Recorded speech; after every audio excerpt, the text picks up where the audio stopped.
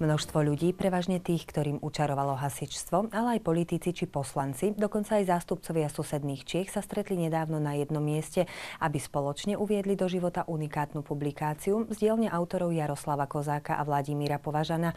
Tá približuje tému slovenských hasičských vyznamenaní.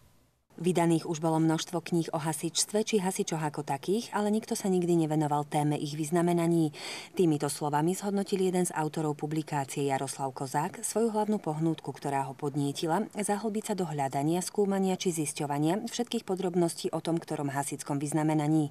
To sa rozhodol, že sa do toho pustím a po 5 rokoch práce sa nám to celkom s Vladom považano podarilo. Hneď na začiatku práce sa autori museli vysporiadať s veľkým problémom, paradoxom alebo až iróniou ich skúmania bol fakt, že hasičom na Slovensku vyhorel archív a teda možnosti na hľadanie informácií sa podstatne stiažili. Bola to práca o hľadaní, o hľadaní nejakých e, starých dokumentov. Hľadali sme v Slovenskej národnej knižnici, v Českej národnej knihovne v Prahe, hľadali sme túto e, s pomocou veliteľa odbornej školy, pana Valka, na Povale, hľadali sme po zberateľoch informácie a takto sme sa dopracovali k materiálom, ktoré sme dostali do knihy. Naša kniha je zameraná predovšetkým na obdobie fungovania Zemskej hasičskej jednoty na Slovensku. To sú tie roky 1922 až 1951. Bola to najvyššia organizácia dobrovoľných hasičov na Slovensku a nájdete tam stručnú históriu tejto organizácie a takisto vyznamenania, ktoré vydali oni ako organizácia, vyznamenania, ktoré si vydali zbory a sú tam veľmi, veľmi jednoducho spracované vyznamenania nemeckých hasičských organizácií. Ono je toľko, že sa v podstate zmestia do jednej knihy, alebo teda respektíve, že je ich toľko, že, že sú na vydanie knihy? Je ich toľko, že ich nevobcháte do desiatich knih. My, my sme zobrali len tie naj, by som povedal, najdôležitejšie, o ktorých nebolo pochyb, kde je nejaká registrácia, kde máme informácie, kto to vydal, kto to, kto to mm, razil.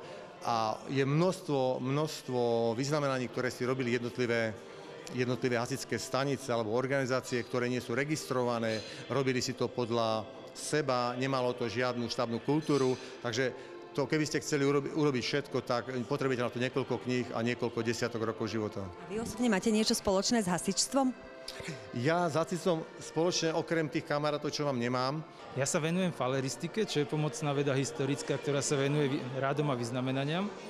A dal som sa na to v podstate preto, lebo sme organizovali výstavu v Múzeu Minci a medaily v Kremnici a spravili sme tam jednu vitrínu zasických vyznamenaní a vlastne pri tejto príležitosti som zistil, že k tejto téme neexistuje vôbec nič. Túto myšlienku dvoch autorov ocenilo naozaj množstvo ľudí, ktorí si slávnostný krst nenechali ujsť. Nechýbal prezident Slovenského hasického a záchranného zboru Alexander Nejedlý, poslanec Národnej rady Anton Hrnko, ktorý aj predsedom výboru Národnej rady pre obranu a bezpečnosť, ale prišli aj čelní predstavitelia dobrovoľnej hasickej ochrany, zástupcovia martinských profesionálnych i dobrovoľných hasičov, poslanci a mnohí ďalší hostia. Keď eh, vznikla knižka, ktorá sa venuje vyznamenaniam a rôznym iným insigniám, ktoré súviseli s dobrovoľným hasičským zborom, bol som potešený. A musím povedať, že som si aj porovnal svoju dedovinu, ktorú mám, pretože aj môj otec bol dobrovoľný hasičský hasič a musím povedať, že som tam všeličo našiel. Našiel som tam túto medailu, ktorá síce v inej ale to si dobrovoľné hasičské zbory vytvárali každý pre seba. Okrem týchto vzácných hostí cestu do Martina meral aj Bohuslav Cerman, starosta okresního výboru hasičov v Českých Pardubiciach, ktorý prišiel vzdať Slovákom poklonu a verejne priznal, že českí susedia blednú závisťou. Jsem se seznámil osobně s panem Kozákem, s autorem té publikace, která se bude dneska křtít. A tak mě to hodně zaujalo, že jsme se dohodli a já jsem teda přijal jeho pozvání. Přijel jsem sem a budu ho žádat, aby jsme ve spolupráci udělali stejnou publikaci pro česká ocení z tohoto období.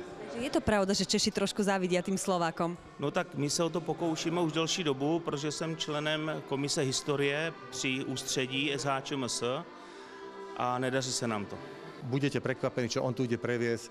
On ide, nechcem prezrádzať, on tu ide udelovať vyznamenania všetkým ľuďom, ktorí sa podielali na této knižke.